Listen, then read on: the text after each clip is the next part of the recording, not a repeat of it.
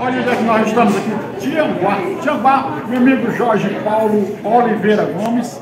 E aqui é o Raimundo Gonçalves. Raimundo Gonçalves. Jorge Paulo, para quem não sabe, todos já sabem, né? Foi bandeira da Copa do Mundo 2002. E também trabalhou em muitos jogos, a gente conversando aqui. Jorge Paulo, só curiosidade aqui para o, para o internauta, Jorge Paulo. Aquele jogo que você bandeirou que caiu a arquibancada do Vasco.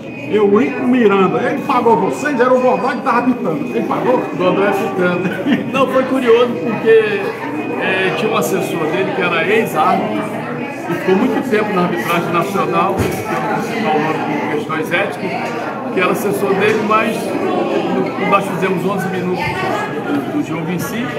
Quando terminou todo o processo lá de é, desocupação do estádio, que houve 160 e tantos feridos, helicóptero em campo e tal. O assessor perguntou, doutor Eurico, os árbitros, como é que faz? O senhor vai pagar o árbitro? Vai pagar ou não? Porque não teve jogo? Eurico Miranda. Aí o Eurico Miranda, polêmico e tudo, disse assim, você gostaria de trabalhar sem receber? Aí ele ficou sem graça, né? Eu, Eurico Miranda já faleceu, o saudoso Eurico Miranda. Também uma vez apitei lá Cruzeiro e Vasco. Aí ele mandou um recado para nós depois do jogo. Diga para os cearenses que vão de jumento pro Ceará. Não pagou a gente. Aí eu disse pro calçado, diga a ele que nós vamos é de avião, daqui a passagem. E aqui é o nosso amigo Gonçalves, viu?